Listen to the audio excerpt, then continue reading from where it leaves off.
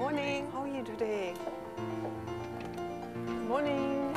How's your day going today? I'm just rounding this morning. Spend a day on the job with Gudrun Mall and you will do a lot of walking. Hi, how are you?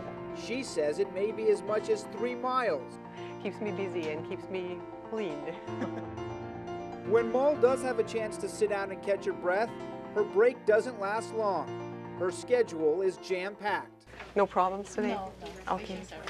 Patients are, they're all satisfied. Thank you. If you don't have it figured out by now, Mall is a chief nursing officer and she is anything but a behind the scenes leader. After working for more than 16 years in executive roles at facilities in Arizona, Florida, and her native Germany, six months ago, Mall took the job at Alvarado Hospital in San Diego, California.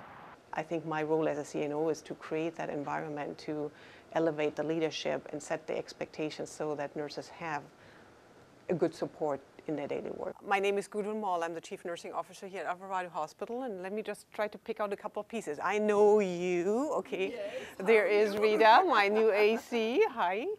Um, and where are you from? Sheila. Sheila? Working in DU. Okay. There's my card if you ever need me. You know how to get a hold of me. Where do you work? Her day is varied, her responsibilities vast, from serving on special committees to meeting with nurses at the infection control orientation.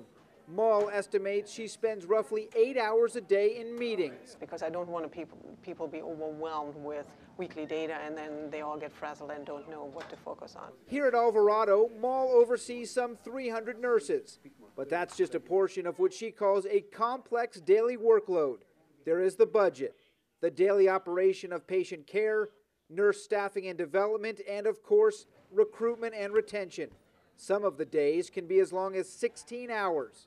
X-ray of the tibia and fibula shows soft tissue swelling with Oh, and she is also a liaison to the medical staff and on all of their committees as well.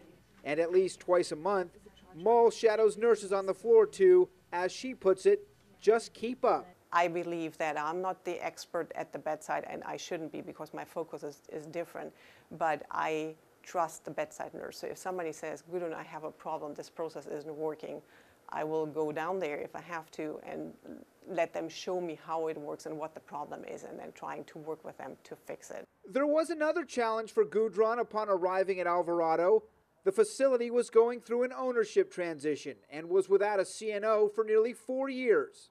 I took the first five weeks just to do a very thorough assessment of all the nursing issues that are present, talk to all the constituents, to the nurses, to the supervisors, to other departments, physicians, to get a very good feel of what's going on. Mall believes having an open door policy is another key factor in becoming successful in the CNO position.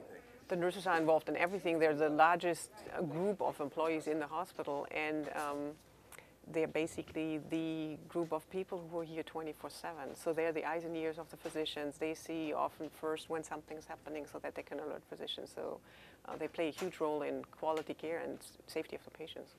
And while she doesn't have a lot of extra time for paperwork and emails, she says she is constantly defining and redefining her role. Because my role is not the bedside nurse, that's why you are here, but my role is to break down barriers and make your life easier so you can take care of the patients. Since arriving in mid 2007, Mall has already improved nursing recruitment and retention.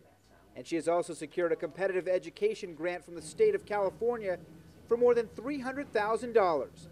From San Diego, I'm Mark Prescott for Nurse TV.